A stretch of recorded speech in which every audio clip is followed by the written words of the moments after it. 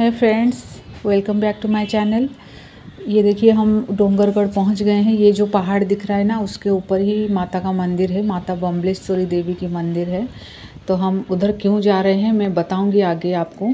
तो आप लोग प्लीज़ जो लोग सब्सक्राइब नहीं किए हैं, नए हैं चैनल पे, वो लोग सब्सक्राइब कर लीजिए और लाइक कर लीजिए और बेल आइकन को ऑल में प्रेस कर लीजिए। ये देखिए, हम पहुँच गए हैं। ये छोटी बमलेश्वरी माता मंदिर है। बोलते हैं कि दोनों बहनें हैं और बड़ी बमलेश्वरी माता का मंदिर जो है ऊपर है पहाड़ी के ऊपर और ये छोटी वाली माता के मंदिर जो है नीचे है। लेकिन ये मंदिर जो है बहुत सुंदर बना है बहुत ही अच्छा कारीगरी की गई है।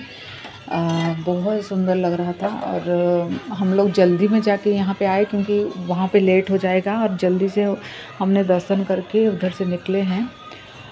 तो चलिए, मैं बताती हूँ मैं क्यों गई थी उधर और किस वजह से मैं आज ही के दिन क्यों गई।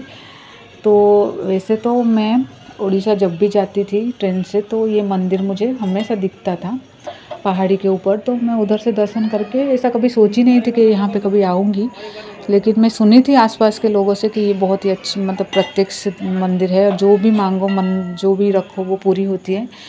तो मेरी सेकेंड प्रेगनेंसी और साची जो पैदा होने वाली थी तो थोड़ी सी कॉम्प्लिकेशन आ गई थी मेरी प्रेगनेंसी में और मुझे बोला गया था कि आपको थोड़ा रिस्क है प्रेगनेंसी में। तो मैं बहुत डर गई थी और मुझे लगा था कि क्या होगा। मैं तो बहुत टेंशन में थी मैं। तो तभी मैं जल्दी भी निकल गई थी प्रेगनेंसी के टाइम जल्दी अपने मायके में रहने के लिए। तो तभी मैं जब जा रही थी तो ये मंदिर मुझे दिखी थी और मैं तभी मैं मन मन में एक मन्नत मांग ली थी कि मैं अगर मेरी बेटी या बेटा जो भी हो तो अगर वो सही सलामत मेरे हाथ में आए और अच्छे से मतलब मेरी प्रेगनेंसी कंप्लीट हो तो मैं यहाँ पे उसको लाके खुद भी दर्शन करूँगी और उसको लाके दर्शन करवाऊँगी और पूजा कर, करके उसको फिर लेके जाऊँगी। ऐसा मैंने मन्नत मांग ली थी। तो वही पूरा करने के लिए मुझे दो साल लग गए। साची थोड़ी बड़ी हुई, तभी मैं उसको दो साल के बर्थडे में सेकेंड बर्थडे है उसका आज। तो मुझे लगा ये सही मौका है दर्शन करने के लिए। छुट्टी भी थी आज के दिन सभी को। तो इसलिए हमने ये सोचा कि आज ही के दिन हम जाके दर्शन करते हैं और पूजा कर लेते हैं उसके नाम से। और देखिए, ये थी मेरी जाने की वजह जो कि मैं बता रही हूँ आपको। और ये देखिए, ये पूरा रास्ते में ये दुकानें हैं सारे। हम जा रहे हैं अभी मंदिर के लिए। मंदिर में जाने के लिए रोप वे का सहारा लेना पड़ता है। अगर किसी को रोप वे में जाना है तो वो जा सकता है, या तो जिसको भी पहाड़ी चढ़ के, जिसको पहाड़ मतलब सीढ़ियाँ चढ़ के जाना है। एक सौ, सॉरी, एक सौ नहीं, एक एक हज़ार सीढ़ियाँ हैं। एक हज़ार कितना तो सीढ़ी है तो इतना दूर हम बच्चे को लेके नहीं चढ़ पाते, इसलिए हमने रोप वे में बैठने का सोचे तो इसलिए हम रोप वे में अभी देखिए खड़े हैं लाइन पे। बहुत भीड़ भी रहती है रोपे और नवरात्र के टाइम इधर बहुत भीड़ रहती है, बहुत लोग आते हैं। आज इतनी भीड़ भी नहीं थी। अच्छे से हमने गए, हम दर्शन भी अच्छे से किए। ये देखिए हम बैठ गए हैं रोप वे में। चलिए चलते हैं माँ बमलेश्वरी देवी की मंदिर।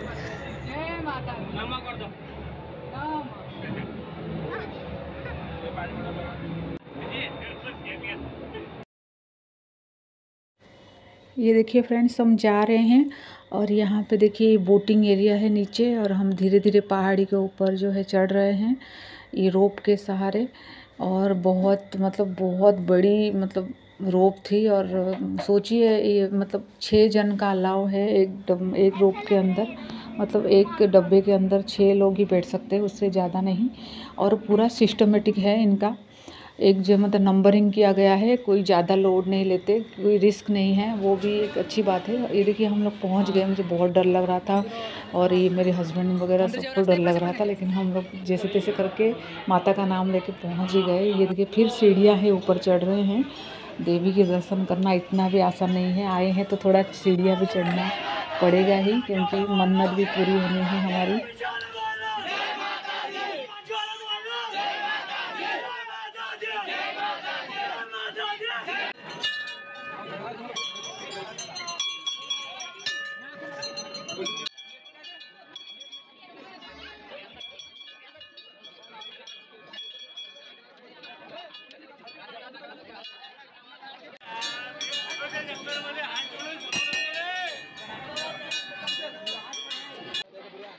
आप लोग भी दर्शन कर लीजिए माता को ये देखिए। और सबसे फ़ेमस मंदिर में से ये भी एक मंदिर है। और नवरात्र के टाइम यहाँ पे पैर रखना भी मुश्किल होता है क्योंकि बहुत भीड़ रहती है मैंने सुना था।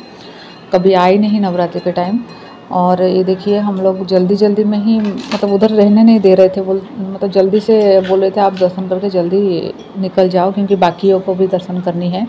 तो मैंने अपना प्रसाद दे दे, दे के पूजा का जो सामान है वो चढ़ा के फिर आ गए हम लोग। ये देखिए, ये पूरा हम लोग नीचे आ रहे हैं धीरे धीरे करके। ये देखिए, पूरा ये लगा है। चुन्नी जो भी चढ़ा सकता है वो भी चढ़ा सकते हैं इधर। और इधर देखिए, हम खाना खाने आए हैं अभी। एक होटल पास में था तो सुबह से भूखे थे सभी लोग। दर्शन के बाद हम लोग खाना खाने आए हैं यहाँ पे। चलिए देखते हैं क्या मिलता है खाने में। ये देखिए, ये खाने की थालियाँ हैं, लग गई है, जो ट्रे में लगा है खाना। ज़्यादा कुछ नहीं था, जो पर जो भी था बहुत ही टेस्टी था सब्ज़ी।